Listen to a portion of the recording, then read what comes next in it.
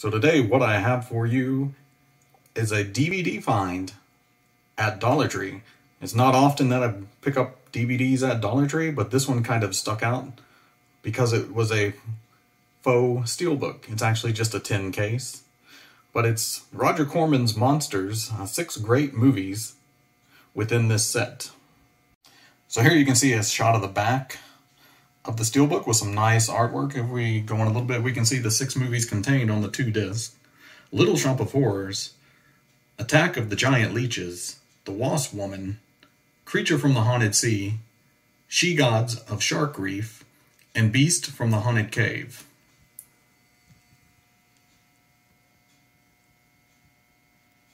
While I haven't watched any of these movies yet, other than Little Shop of Horrors, I'm looking forward to adding them to my collection and viewing them in the theater room.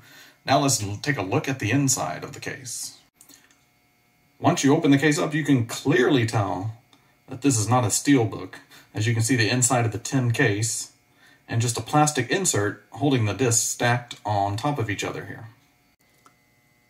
Here you can see some nice disc art on each of the discs.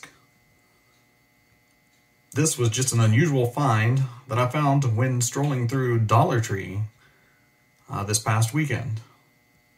This is just a quick look at this and hope you enjoyed it.